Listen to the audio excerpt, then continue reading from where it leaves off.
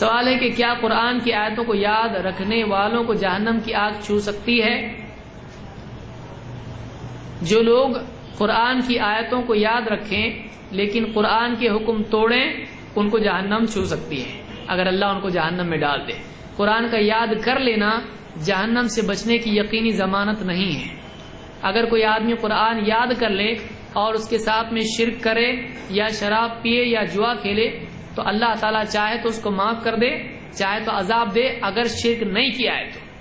लेकिन अगर शिरक किया है तो फिर अल्लाह माफ़ नहीं करेगा, अगर बगैर तौबा के मर जाए। हाँ अगर ज़िंदगी भर शिरक किया, लेकिन मरने से पहले तौबा कर ली, तोहिद कबूल कर ली तो अल्लाह ज़िंदगी भर के शिरक को भी माफ़ कर देगा।